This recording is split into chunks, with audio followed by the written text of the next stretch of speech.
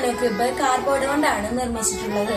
ആദ്യം ഒരു കാർഡ്ബോർഡ് എടുത്തു. അതിനുശേഷം അളവുകൾ കൃത്യമായി വരച്ച് മുറിച്ചെടുത്തു. കവാടവും മുറിച്ച് വെട്ടിയെടുത്തു. അതിനുശേഷം വേറൊരു കാർഡ്ബോർഡ് എടുത്ത് അതിൽ വൈക്കോലുകൾ നീങ്ങി.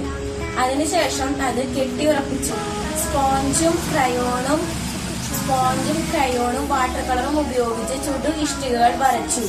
അതിനുശേഷം ഫ്രണ്ടിൽ വർണക്കടലാസുകൾ കൊണ്ട് ഒട്ടിച്ച് ഭംഗിയാക്കി. അതിനുശേഷം ഉള്ളിൽ വൈക്കോലുകൾ നിറച്ച് രൂപങ്ങളും ഇതും വെച്ച്